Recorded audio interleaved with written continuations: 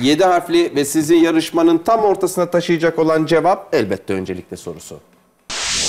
Başkalarına belli etmeden gizlice yapılan şey. Tek bir kelimedir.